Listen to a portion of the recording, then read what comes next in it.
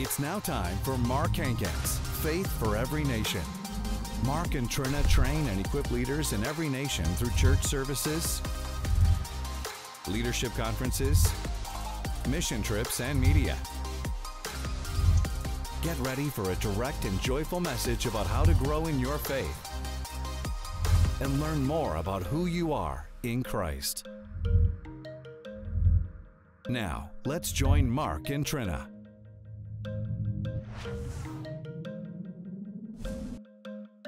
In other words, every man, it doesn't matter whether you're uh, Caucasian, white skin, black skin, African American, uh, Indian or Asian or Hispanic, uh, no matter what, a Native American. And so you got all different varieties of mankind, So there's not just but Four one colors. blood. But they were all made of one blood. one blood. I mean, if they weren't all made of one blood, then you'd have had to have, you know, Hispanic man die, Caucasian man die, die black man die, African American man die, uh, Asian man die. No, no, one man, Jesus Christ, because Right. one blood. So one blood made men of all nations, humanity of all nations. And so it only took one blood to redeem all men, and that's the blood of Christ. So our and so identity through faith is in his blood, skin deep. uh, yeah, so your identi- identity cannot just be, uh, you can't find your identity in what the color of your skin. Or if you're freckled. Yeah, I got freckles, so who knows what that is.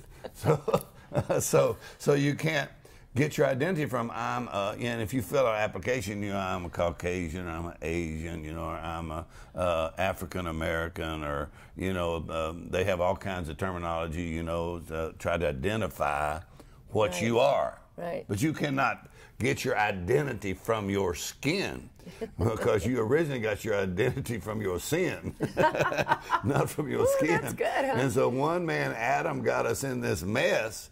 And so one man, Jesus Christ, how did he do that? Through the incarnation, God got in a body, and the blood of Christ is the blood of God. It's divine blood. It's the blood of the new man. It's the blood of the new creature, the new creation. And so that blood carries redemption for all men. That's our identification in the blood. In the I mean, blood. if you you're gonna uh, you have a blood test and that gives you your identification. Yeah, not in your skin. I mean, now if uh, if if you were dying, you know, and and uh, and you needed a blood transfusion, uh, you're not going to say, uh, "Did that come from African American? Did that come from an Asian? Just give me Or some that come from blood." Hispanic?" I mean, after I take this blood, um, is it going to like?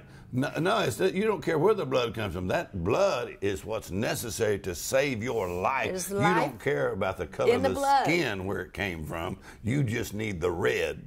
You need the blood.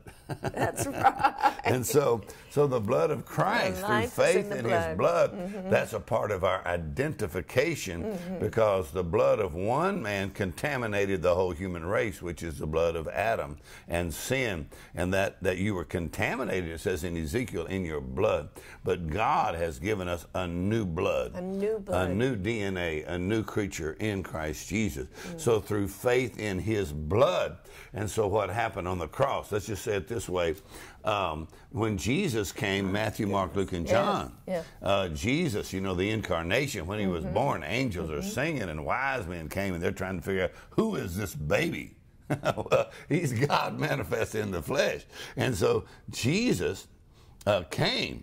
And then you can see his, his lifestyle, Matthew, Mark, Luke, and John, in his authority over Right. uh, sickness and disease and over Right. Satan. And so they even ask in Matthew, Mark, Luke, and John, what manner of man is this? Man, who- and when John the Baptist saw Jesus for the first time, he knew who he was and Yeah. he said, Behold, the Lamb of God Yeah. takes away the sin Yeah. of the world. He's identified him. He was the Lamb with that blood He is the perfect sacrifice. that would be poured out for the sins of the his world. blood. And so Jesus, the Lamb of God, and I think in the book of Revelation, he's referred to as still the Lamb, the Lamb of, of God. And so understanding what happened on the cross is Jesus became that one perfect lamb, that perfect sacrifice. Right. And so it's not the blood of goats and calves, it's not the blood of any kind of animal, but it is the precious blood of Jesus. We are redeemed. And that's without blemish and without spot, and we are redeemed by that blood. So your identification with Christ. And uh, when the Old Testament, when they brought, each family had to bring a lamb, and that lamb had to be uh, flawless, had to be perfect. And so the priest would examine the lamb, the sacrifice. If the sacrifice was perfect, the worshiper was accepted based on the condition of the sacrifice. In other words, the mm-hmm. priest examined the sacrifice, So and if the sacrifice was perfect, then the worshiper was accepted to come by that perfect lamb. And so when you come to God and you come by faith in the blood of Right. Jesus and you come by what God has done in Christ, then you say, Here is the sacrifice. God examined what Jesus is, what he was, what he did, and what happened from the cross to the throne. He said, That is the perfect sacrifice. perfect and you are accepted based on the condition of that lamb, which is Jesus. You know, remember Billy Graham? He used to have those crusades and he's just a powerful evangelist. And then he'd give his message and the invitation for people to come. Then he would stand back and pray, and thousands would come to the front and they would sing that song, Just as I Am, Mm-hmm. without one plea. Yeah, that was that was his constant But that thy song. Mm. blood was shed for me. O Lamb o of Lamb God. of God, I come. come. And so That's you're coming to God based on the blood sacrifice of Jesus. That one man, one man. And so Romans chapter 5 says that death reigned by one man, Adam, through his disobedience. And now we have received the abundance of grace, the gift of righteousness, and we reign in life through one man, Jesus Christ. So you really only have to have one man to reign in life. One man. Everybody said, Well, I need to know this man, that man. I got to have, especially if you're a single woman, I got to have a man. Well, you only have to have one man Yeah. to enjoy life, reign in life. Right. And that one man is Jesus Christ, and you are complete in him. Amen. You know, that just brings me back to the lady I met last week again. And the moment that she uh, decided to follow Jesus, you know, um, someone spoke to her and said, you know, the things that you're trusting in will not bring you life. And she was trusting in things that are in her thing- pocket. things She you're holding on to. in her pocket. You know, she was in a new age, and she was trusting in that to give her guidance and whatever she needed. Comfort and- and they said, just let it go. And she took those out, let him go. And she said, I'm not going to trust in that anymore. I'm going to trust in Jesus. Wow, The moment she did, her life was transformed because Jesus is alive. Jesus is real. And the moment we let go of everything else we're trusting in, Yeah. put our trust in Jesus, oh Lamb of God, I come to you. That moment, wow, there's such a release from the old identity that we've been enslaved Yeah. in. And we embrace the identity of Christ, Mm-hmm. who is our life and in righteousness. He gives us his love and Yeah. acceptance. He changes approval. our identity. Yeah. So now, in Matthew, Mark, Luke, and John, if you're reading the four Gospels, then uh, you will see Jesus dying, Jesus buried, Jesus raised. Mm-hmm. And so you'll study what happened, the Via Dolorosa, what happened uh, while Jesus was beaten, what happened when he went to the cross, and you'll see what happened when he was raised from the dead. So you see things, or you see what man saw in the death, burial, and resurrection of Christ. But if you come to Paul's revelation, that Paul actually calls himself a man in Christ. So if you come to Paul's revelation, if any man be in Christ, he's a new creature. So if you come to Paul's revelation, he shows you what happened in the unseen or what happened on the cross. Right. Not just what man saw, but what God saw. And he shows you what happened in the resurrection of Christ, not just what man saw, but what happened in the spirit or what happened unseen are to see what God saw. Hmm. What happened in the spirit, and even see what the devil saw. the devil so, saw. what part of the gospel scares the devil is the death, burial, and resurrection of Christ. Mm-hmm. And so, the sin of Christianity is the, the cross, the death, the burial, and the resurrection of Christ. And so, Hmm. many religions offer lessons to try to fix man, but only Jesus Christ gives life That's right. eternal life. So Jesus didn't come just to give lessons, even though the teaching is significant and very important. But Jesus didn't come just to give us lessons. Every religion offers lessons, Right. but Jesus came to die on the cross and to pour out his blood to redeem us from Satan and from sin and to set us free. Amen. So there's something in Christianity that is totally different than every other what you would call religion because Christianity is not just a religion, of course. It's a relationship with the Lord Jesus Christ. And so what happened on the cross and it says in Colossians through the blood of his cross Colossians 1 20 through 22. And he says, You are redeemed from your condition and set free from, uh, what does it say, your wicked works and your, your evil minds, and you're set free. And now, through the blood of his cross, he presents you holy, unblameable, and unreprovable in the presence of God. Amen.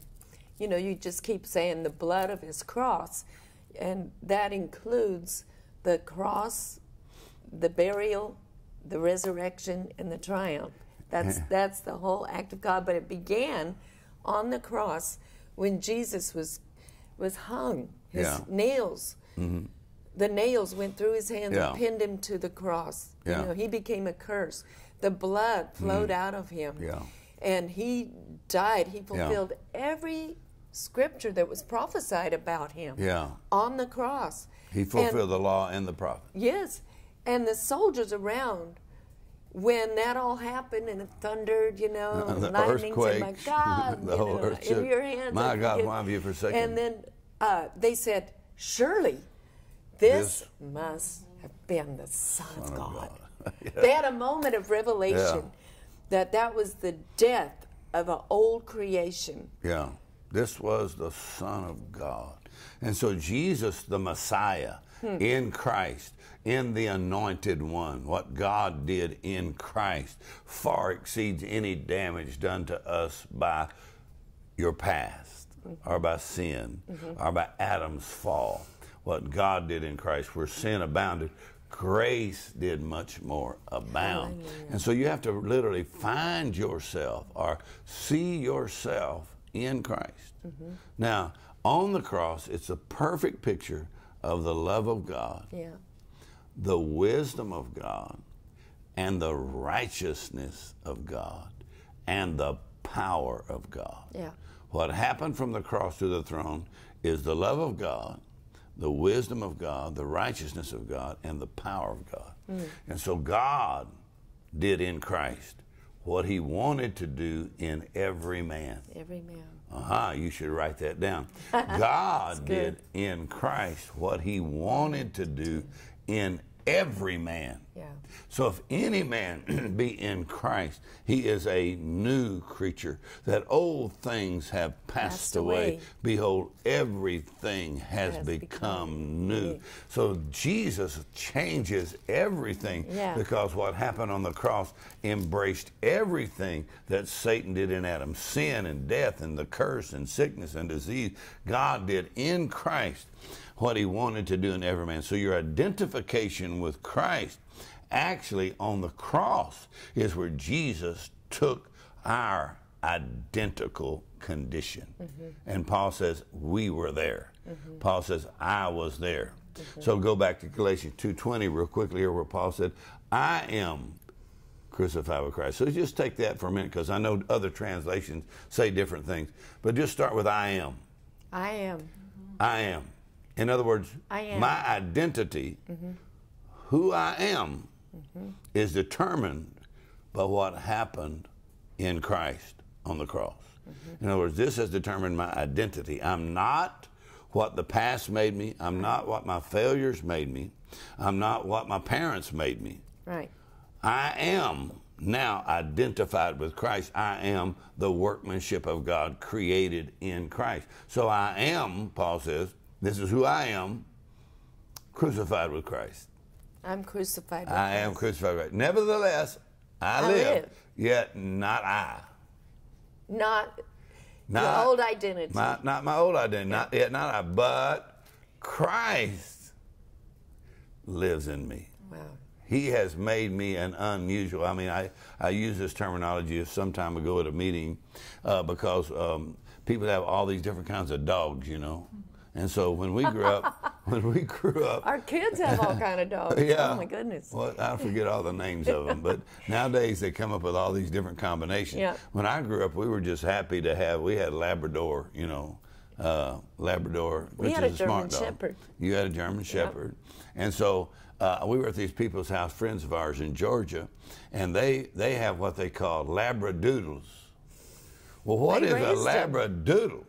I mean, that's it's like a, a Labrador with a poodle, right? And so they come up with a new breed called a Labradoodle. All right. So what God did in Christ is now He has come up with a new kind of human that never existed before. So what are we going to call this new kind of human? A new creation. In other words, you're not you're not fully Labrador. You're not fully poodle. You're not you're not fully God. You're not fully human. But what are you? You are a God man. A God man, a Christian. You're a Christian. You're a, A Christ person. Yes. Made after the pattern of Jesus Christ. Wow. What produced this new breed? What God did in Christ. A new kind of human that Mm-hmm. never existed before. How did that happen? My goodness.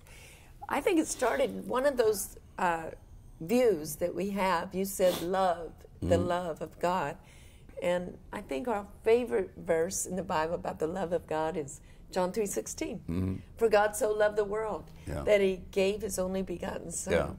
Whoever believes in, one translation says, believes into him Yeah. has everlasting life. Then Mm-hmm. it says, For God sent not his Son into the world to condemn the world, Mm-hmm. but that the world through him Yeah. might be saved. And then uh, Paul sees that revelation in, in 2 Corinthians 5 in verse 19. He said, It was God personally present, the Amplified says, in Christ. Yeah. He was reconciling and restoring the world to favor with himself, not counting up and holding against men Mm. Yeah. their trespasses, but canceling them Yeah.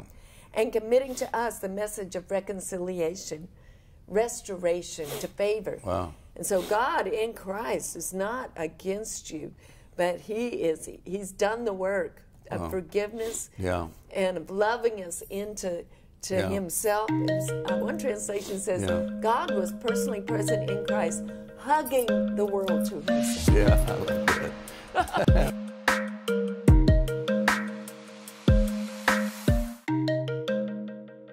Hi, my name is Frank Hyatt. I'm from Cortland, Ohio. I work for a company called Millwood Incorporated. Uh, been there be 20 years next month. I work in the HR, safety, and chaplain ministry. We're, owned by uh, Christian owners, and I've been blessed to be involved in the chaplain ministry for the last 20 years. I'm blessed. Uh, I have obviously a beautiful wife named Angie. I have four beautiful girls. Ashley's 35. Heather, who we're speaking about today, is 33.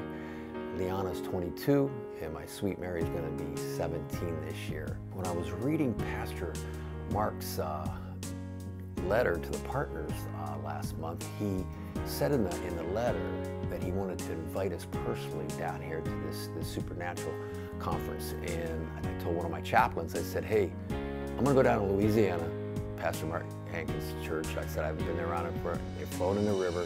If you want to come with me, you're more than welcome to come. If not, I'm going by myself in the Holy Ghost." So uh, made the plans to come down. Bosses at work were all excited to go down and get refreshed in the Holy Ghost. And I told my wife, I said, you know, I think when I get an opportunity, if God makes a way, I think I'm- I'd like to speak to Brother Hankins to say thank you to him for being obedient back on uh, February 10th, 2004, which happened to be my Heather, who's 33 now.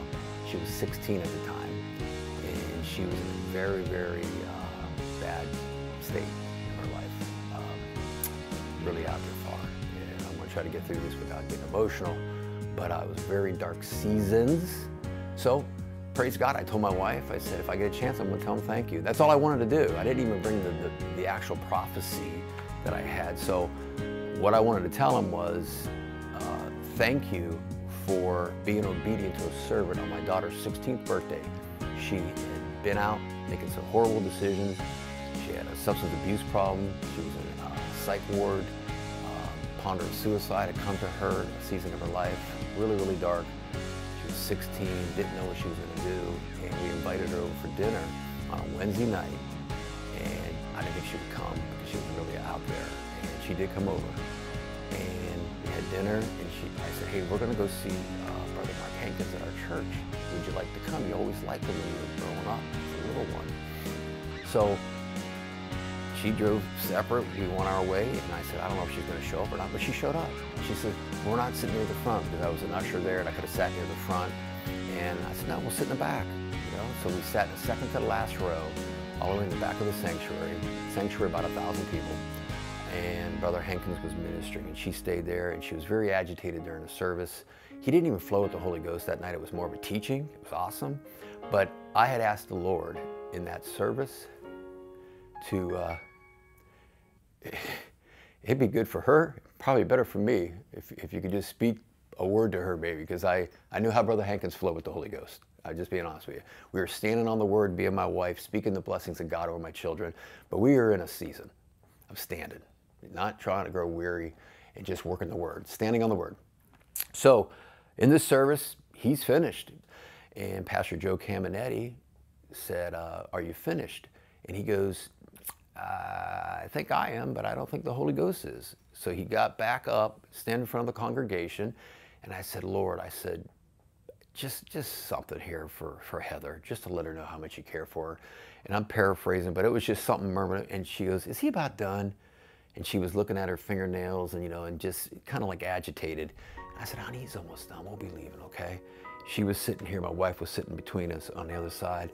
And Brother Hankins got up and started walking our direction, stepping over the chairs. And as he was walking towards us, now we're all the way in the back of the sanctuary, like the sanctuary is here. People are just starting to fall out. He's starting to laugh. Ushers are having a hard time with him. He's not stopping and ministering to anybody. He's like walking over the chairs and coming towards us. And I said, my daughter says, he's not coming towards us. And I kind of went, I hope the God he is, because this is what we're here for. This is why this service is still going on. And he walks all the way back as he's touching people underneath the power of God, they're falling out. But when he got back to my daughter and Heather and myself, he went between us. He laid his hands on her shoulders, and she just flew underneath this, screamed, flew underneath the, the seats, the row. And he stops and he just makes this, he goes, That's the reason why the Holy Ghost didn't stop. And he started prophesying about the Spirit of God, knows exactly where she's at. The Spirit of God is upon you. The Spirit of God is healing and making you whole. The Spirit of God is going to use you to reach people. I mean, he went on and on and on about the Spirit of God loving her, and she was wiped out underneath the seats. And I just rejoiced. I said, God, you're so awesome. But I took that prophecy, wrote it up, had it wrote up, and I put it in my Bible for probably about seven years till she was in her mid 20s. And she slowly, surely coming back. Now she's 33, uh, loves God, got the sweetest personality, married, I have a grandson, and uh, to God be the glory. And uh, it's just a, an awesome testimony.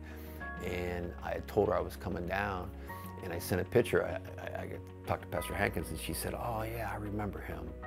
Yeah, was awesome, Dad. And that was a bad season of my life, but but thank God for Brother Mark Hankins being obedient to the Holy Ghost to show you that Jesus still cares and loves me.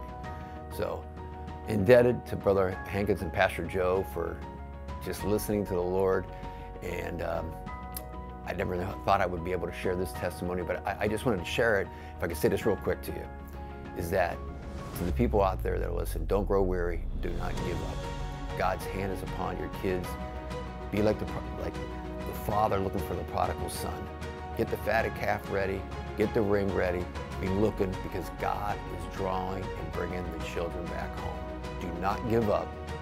He is faithful. He is faithful. In all the years that the enemy stole away from me, God has restored my daughter.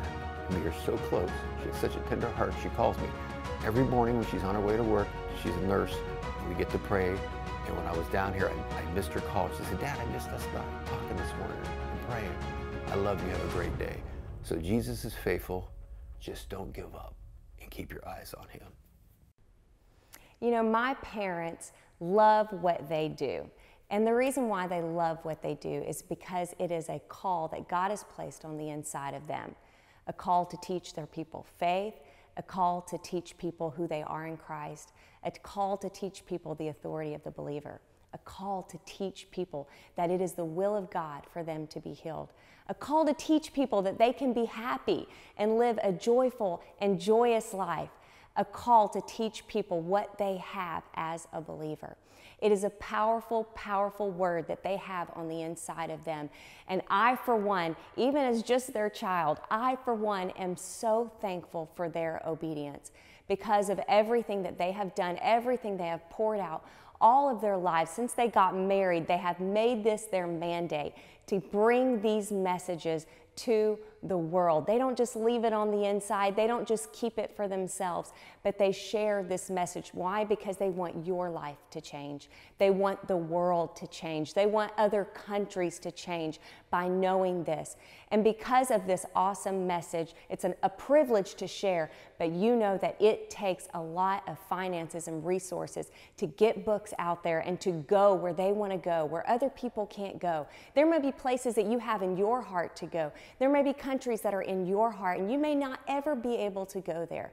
But when you decide to partner with Mark Hankins Ministries, he is able to go to those places and she is able to go to those places and teach them who they are in Christ and teach them their authority as a believer. They're able to write the books and translate the books into so many different languages so that people all over the world get this message. I encourage you to pray about partnering with Mark Hankins Ministries with my parents. It is their heart and their desire to keep this message going longer, stronger, and further than they could ever go themselves. I encourage you to pray about partnering with Mark Hankins Ministries, and we thank you. Those of you that have partnered, thank you from the bottom of our hearts. Thank you for helping us fulfill the will of God for our lives, for Mark Hankins and Trina Hankins for their life. We thank you so much, and we pray that God richly blesses you. Join Mark and Trina Hankins for an hour of powerful teaching live Monday through Friday on Facebook and YouTube at 10 a.m. Central Standard Time. Everyone can join in Christ Bible School. Catch the spirit of faith and move the mountains in your life. Watch live wherever you are and learn who you are in Christ. That's live at 10 a.m. Central Standard Time. Thank you for watching Mark Hankins Ministries Faith for Every Nation. For more information on how to build your faith, visit markhankins.org. You can access many free word resources to help you find who you are in Christ. Stay connected with us on Facebook, Twitter, Instagram, or our YouTube channel. Thank you for watching.